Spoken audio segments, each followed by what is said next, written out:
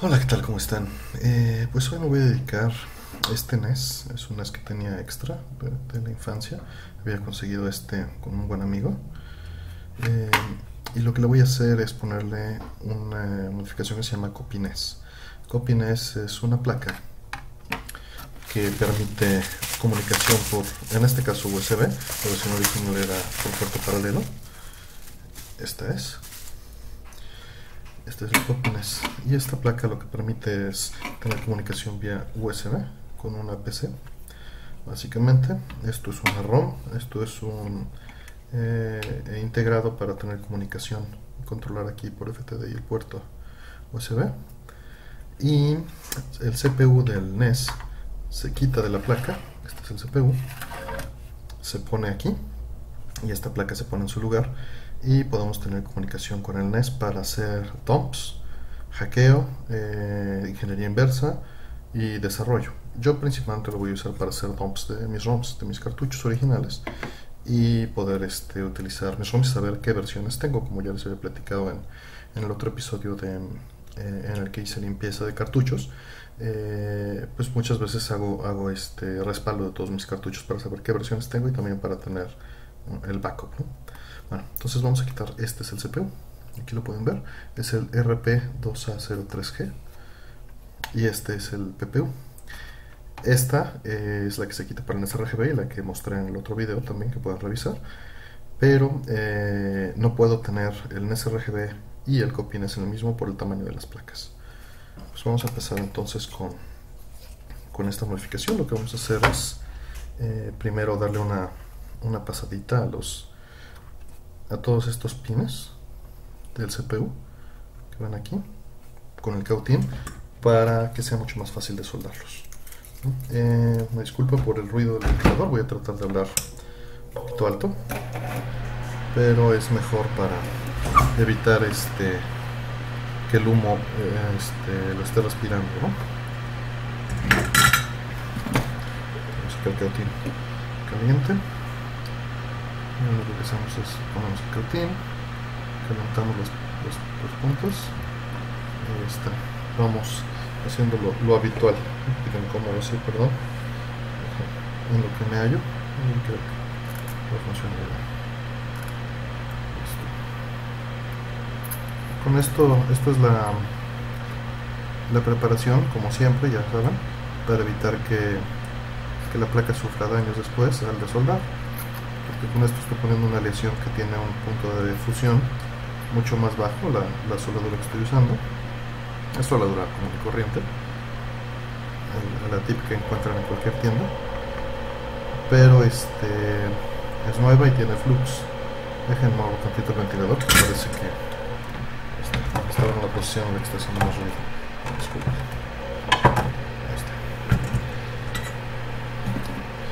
La ventaja es que este ventilador tiene un filtro y absorbe todo el, este, todo el humo que, que se produce y si no lo tengo que estar respirando. No son caros, si hacen mucho este trabajo se los recomiendo. Hay en, Amazon, hay en AG Electrónica aquí en México, hay en eBay.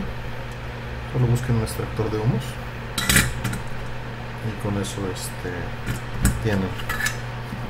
Como 30 dólares no mal recuerdo. Y he importado aquí en, Magia Electrónica, tienen envío, no para ser comercial, pero tienen envíos este, ya del mismo día. Entonces, hasta eso está súper bien su, su, oferta. Este mod no va a ser nada difícil y, y pues la verdad es que es, es, muy similar en parte a lo que ya he puesto en el canal, no tiene mucha diferencia, pero, pero bueno, se los quería compartir. Igual iba a ser más interesante eh, el resultado, ¿no? Este, que el procedimiento, porque el procedimiento pues ya lo vieron eh, indirectamente en sRGB, pues fue esto mismo con la PPU y después este, fue varias, varias este, cosas más de soldado. Ay, estoy súper incómodo, perdón.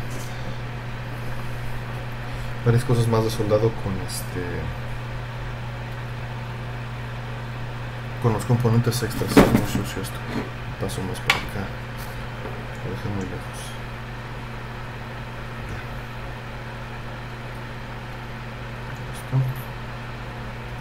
Entonces les comentaba que hay, dos versiones.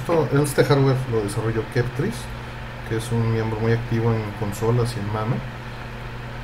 Yo lo tuve en backorder, lo pedí de retro USB y tardaron como 6 meses en surtírmelo porque pues no tenían las piezas o hace poco les mandé un correo ya este le, echaron prisa y, ya por fin me lo pudieron entregar parece que, que pues no había de hecho no tienen ahorita en stock me parece muy bien que fue la última pieza y la tenían les faltaban unas cosas y la tenían la orden ahí transpapelada pero bueno ya me lo entregaron y ya voy a poder hacer esos DOMs igual iba a ser interesante ir a a casa de gente que tiene colecciones gigantescas de NES. Yo tengo poquito, tengo nada más lo que me gusta, como es usual. Una que otra cosa, este, pues sí, de, Famicom o algunas cosas, hasta bootlegs chinos tengo ahí el, Mario Fighter.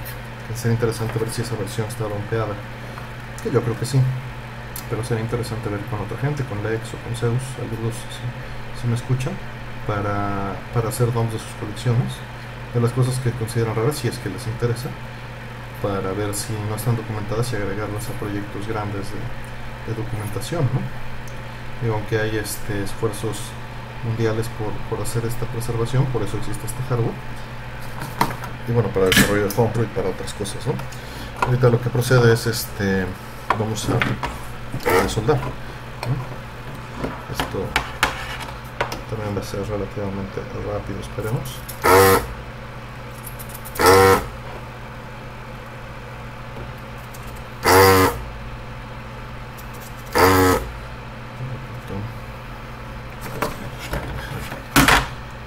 Esto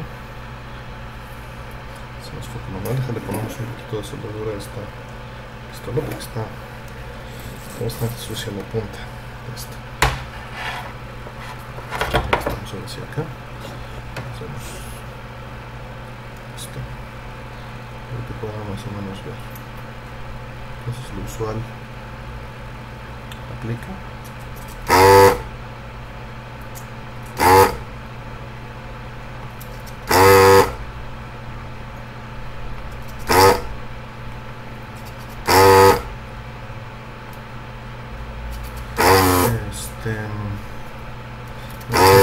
hicimos con Barket ya un episodio de, de arcades, pueden dar una checada. hablamos de un juego que se llama Arco Rider. También esta semana liberamos un score, eso ya pueden dar una checada. Score es un podcast que hacemos donde hablamos de música de videojuegos como pretexto para abordar temas de mods, de resoluciones, de datos técnicos, anécdotas, historias personales de, de lo que es alrededor de un juego. Vamos, todo lo que rodea nuestro, nuestro hobby, ¿no? Este está mal.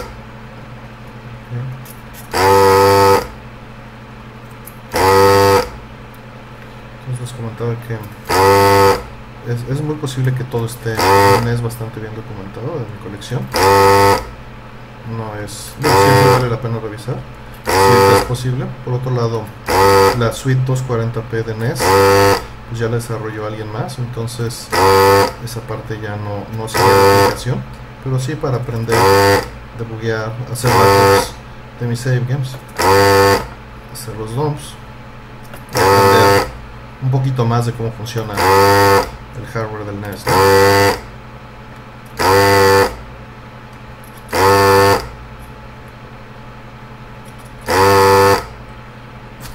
a ver qué tal está. Seguramente un poquito.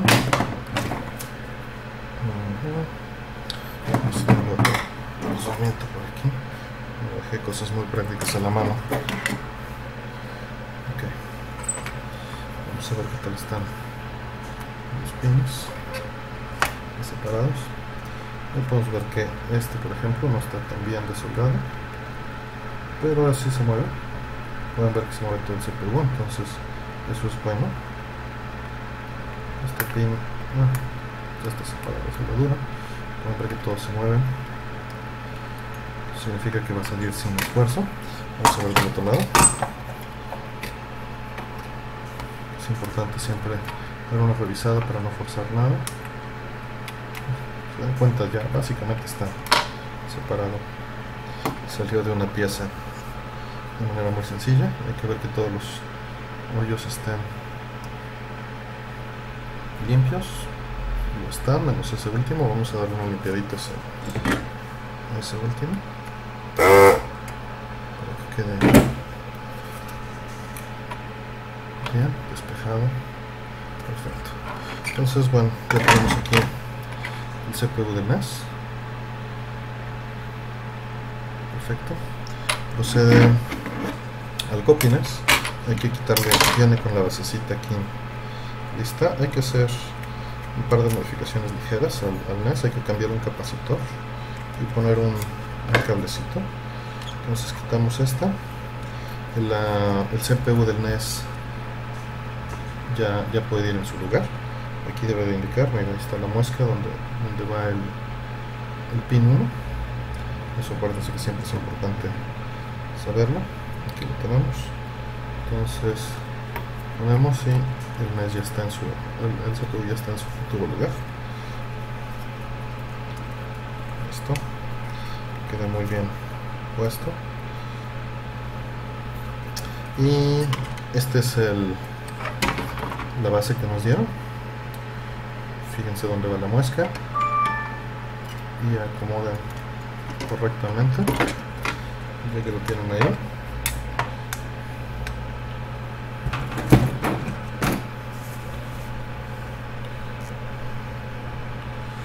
pues procedemos a nada soldar la base.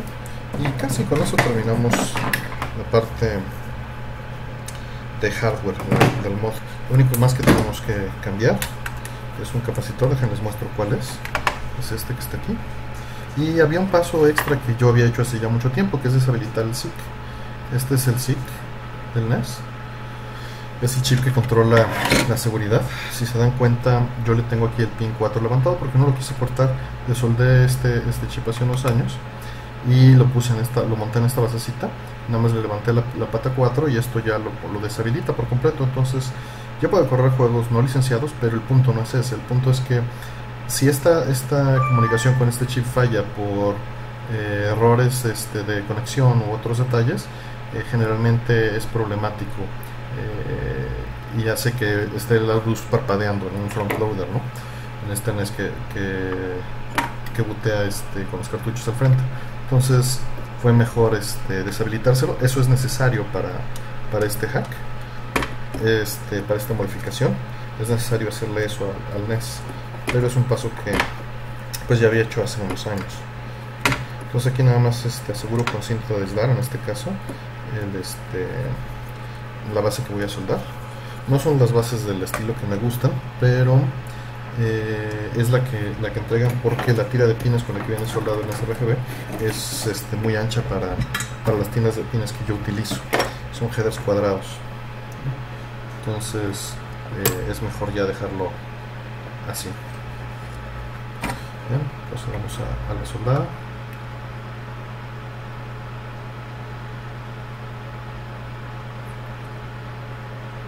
La costumbre de soplarle el humo, de todas maneras no la pierdan porque es mejor no, no respirar todos los residuos tóxicos de la resina quemada y del y pues todo lo que se pueda vaporizar, ¿no? Y acuérdense siempre lavarse las manos bien de hacer esto porque hay residuos de plomo. Si sí, estoy usando soldadura de estaño con plomo, la, la tradicional, que es, mucho más maleable, nada más lávense bien las manos. ¿no? No quieren daños a su cerebro después de, de unos años. Vamos a ver un poquito más esto. Vamos avanzando rápido, pero es mejor se vea un poquito mejor.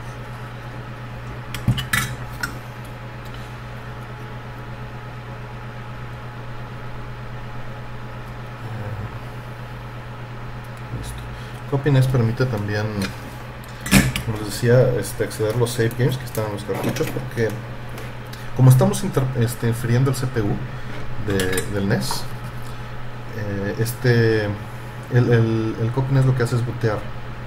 Si detecta el USB conectado, bootea el código de, de la ROM hacia el CPU y le cambia el espacio de direcciones donde mapea muchas de las direcciones a, áreas en donde no va a afectar y permite eh, que tengamos control vía, en este caso USB, en la versión original que es paralelo sería, no, la verdad nunca, nunca lo he tenido. Pero de cuando está conectado el USB y está la PC conectada, básicamente eh, queda como esclavo el NES, pero estamos desde adentro. Es un caballo troyano, del cual tenemos absoluto control de, de todas las direcciones de memoria y podemos hacer dumps o modificaciones de todo lo que está disponible desde el CPU. Pues es básicamente todo. En este caso, este, hasta tocar música, ejecutar programas, se puede poner un, cartucho con RAM y, este, y utilizarlo para desarrollo, para tocar esa misma música, pues para piratería, si a alguien le interesa eso. No es lo mío, pero pero ahí está el, este, el camino también. Digo, hay opciones mucho mejores para quien quiera irse por el lado de la piratería que esto, ¿no? Esto es más bien para quien tenga la curiosidad de ya sea hacer sus dumps y respaldos o, o de explorar el hardware o incluso desarrollo, ¿no? Porque está, está increíble tener acceso a todo este, el hardware del NES desde, desde dentro. Entonces ya tenemos casi casi el mod terminado. Nada más tengo que cambiar el capacitor. Esta debe de ir aquí. Así. Exactamente. Sería bueno que revise lo del capacitor antes de poner el CPU, pero la curiosidad de andar midiendo y que todo funcione es mayor. Sí, ahí está bien. El capacitor está acá. Entonces vamos a quitarlo de una vez. Son estas dos patitas. Debería ponerle para que salga igual de fácil. este, unos puntitos de soldadura. Ahí se nota mi trabajo de hace unos años, no lo limpié. Está el, el este el flux ahí de, la vez pasada que hice ramificación de ese SIC. Listo.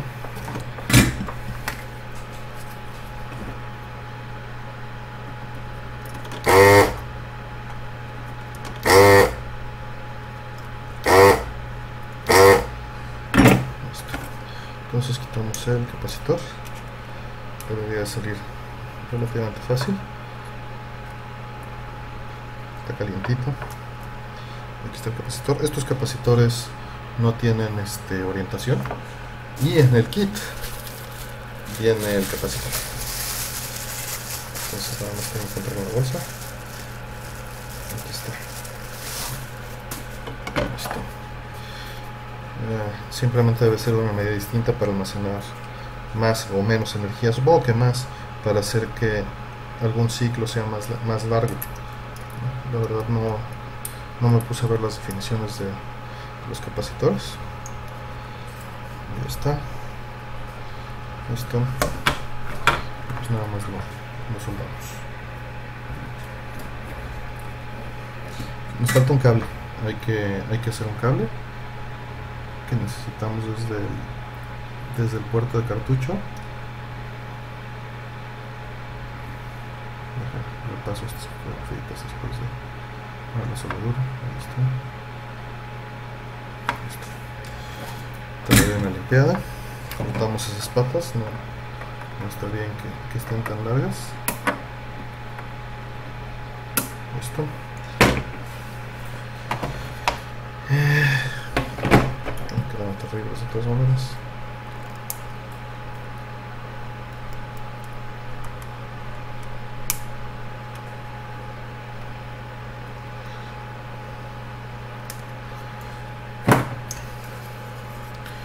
ya tenemos esta parte entonces con el capacitor nuevo. Y esto ahí está. Están todas las piezas. Solo nos falta un puentecito. Hay que hacer un puente con un cablecito desde el pin 16 entonces agarramos un cable pequeño. Lo pelamos un poquito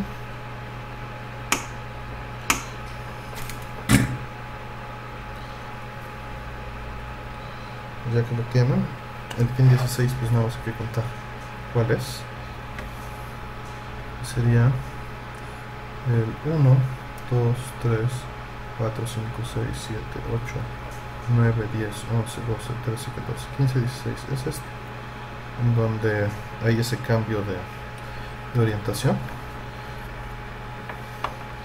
Y pues nada más ponemos nuestro cablecito está. Y lo soldamos ¿okay? está puesto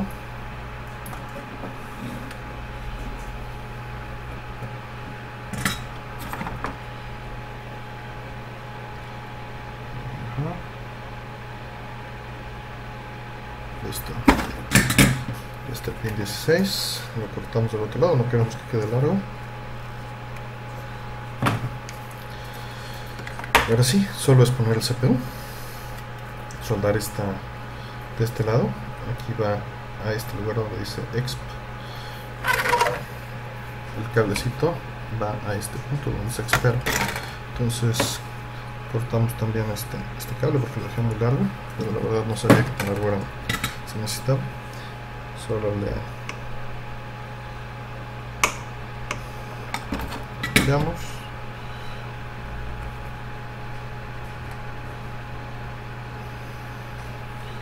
y lo ponemos. Entonces ya que está ahí puesto simplemente lo soldamos. Listo. Eh, apagar el ventilador pues ya acabamos con eso. Dejen desconecto capines y demás. Ya lo tenemos listo. Solo resta que todo esté alineado.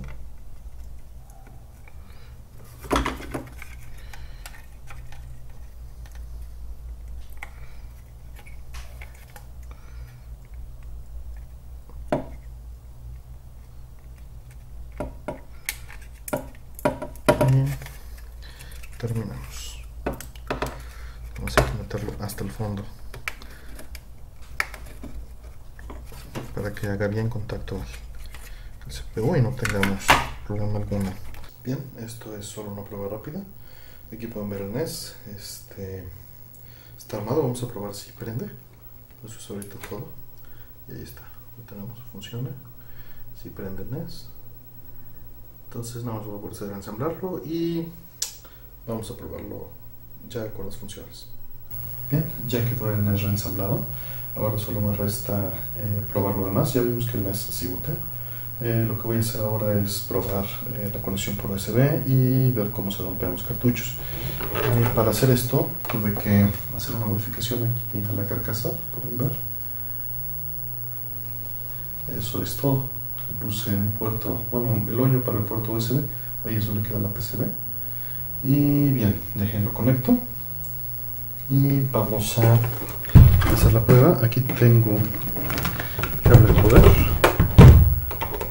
Y tengo aquí un cable USB con el cual vamos a hacer la prueba.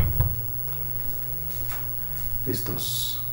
Dejen paso la PC y vemos la instalación de drivers y demás cosas. Bien ya estamos aquí listos para hacer una prueba. Eh, me traje todo aquí a la laptop.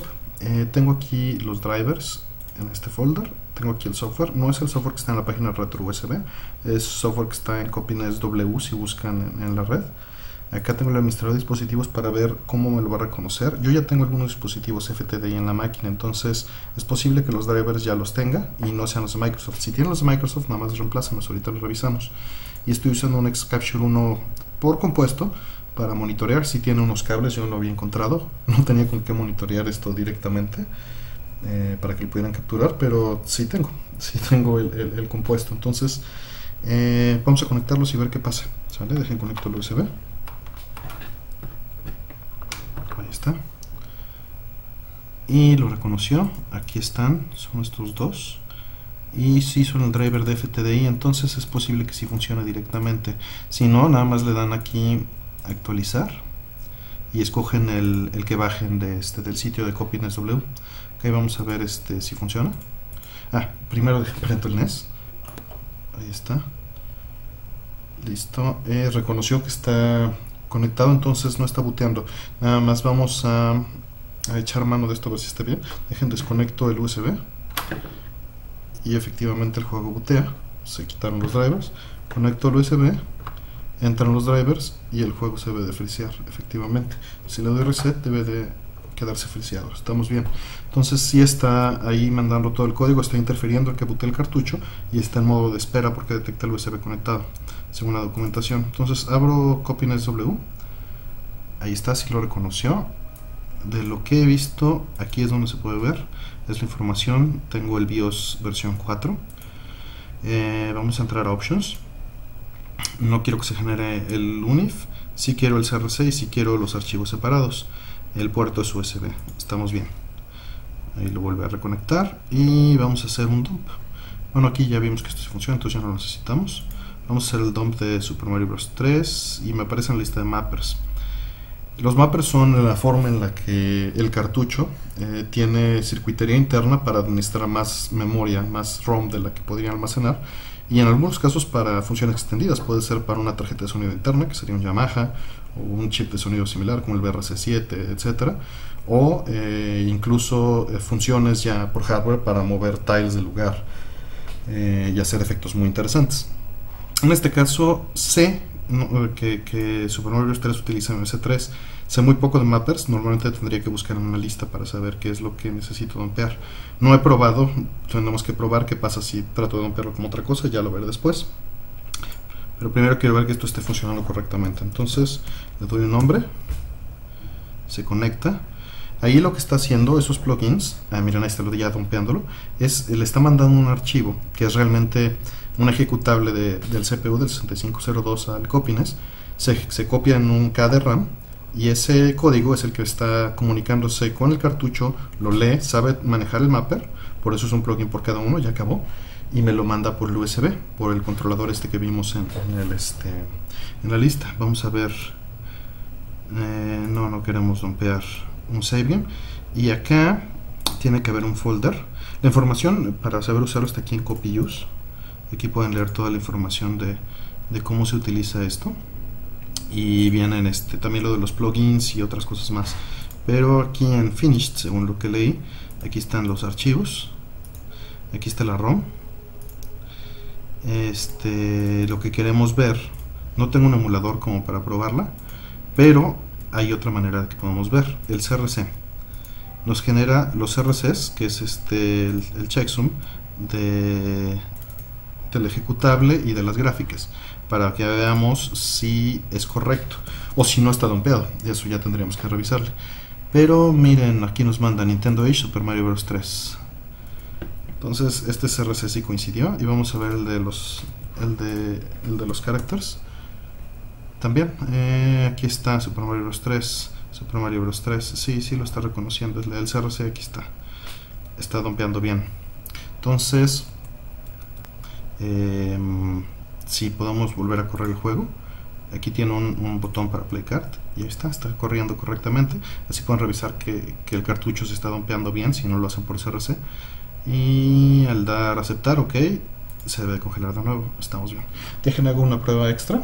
Tengo aquí un Ninja Gaiden que es el, mismo que utilicé para el model sRGB entonces dejen hago una prueba con ese. Y vemos si todo se comporta igual Ahí está. Vamos a ver si corre. Ahí está, funcionando muy bien. Entonces vamos a hacerle un dump. No sé qué mapper tenga. Entonces vamos a buscar eh, mapper.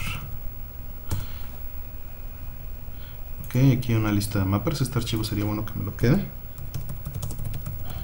Y Ninja Gaiden, aquí está, es un MMC1. Entonces acá escogemos MMC1, le damos OK. Decimos que es Ninja Gaiden.